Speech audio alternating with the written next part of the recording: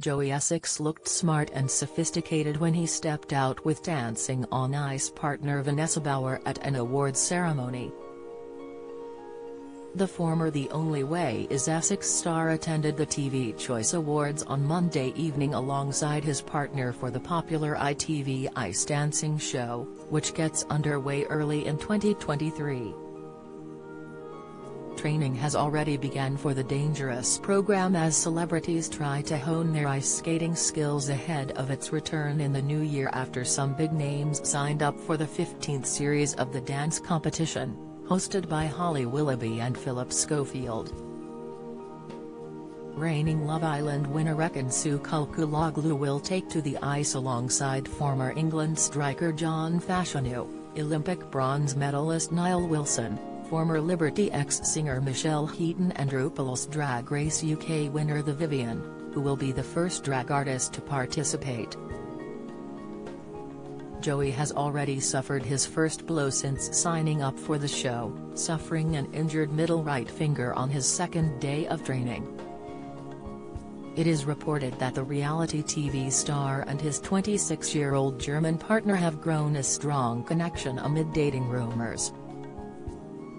The pair were contrasting with their outfits at the TV Choice Awards, with Joey wearing a black tuxedo, black shirt and black shoes to go with a new look curtain-styled hairstyle as he beamed next to Vanessa, who was wearing a floating white dress. Joey has previously spoken about his ambition to win Dancing on Ice, telling ITV's This Morning, I would love to win. I'm going to put all my energy into this. This stage in my life, I'm so ready for this.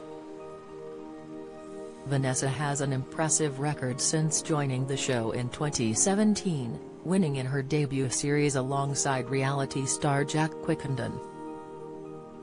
She has also finished as runner-up with Love Island's Wes Nelson, diversity dancer Perri Kiely and ballroom dancer Brendan Cole, while she was forced to withdraw in February 2021 after her and Emmerdale actor Joe Warren Plant tested positive for coronavirus. Since stepping away from TOWIE in 2013, the 32-year-old has been a feature on many other reality TV shows, including I'm a Celebrity, Get Me Out of Here, Celebrity SAS, Who Dares Wins, Celebrity MasterChef and Celebs Go Dating. He also fronted two of his own shows, Educating Joey Essex, which was narrated by This Morning star Philip Schofield and saw him interview political heavyweights, and Joey Essex, Grief and Me, a BBC documentary about him losing his mother at a young age. Do you have a story to sell? Get in touch with us at webcelebs at or call us direct at 0207 29 33 033.